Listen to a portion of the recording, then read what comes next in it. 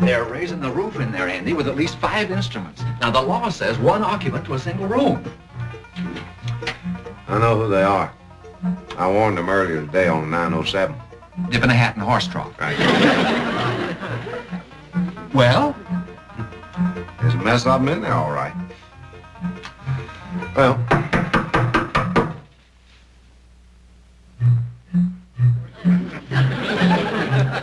got suspicious right off when that Mr. Darling asked me was I on duty all the time. That must have been when he sneaked the others in while I was out eating supper. hmm, good thinking, John.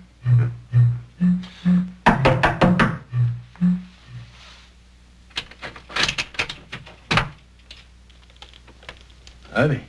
Who do you think you're kidding with that jug playing? That's mighty fine jugging, Mr. Darling. Thank you. I can get banjo sounds, guitar sounds, whatever I want out of it. Where's the rest of the family?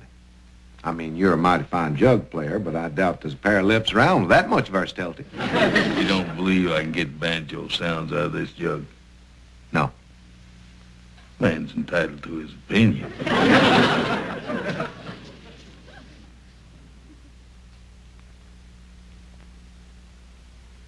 Come on, John. There's nobody here. But they must be. Come on. Good night, Mr. Darling. More power to you.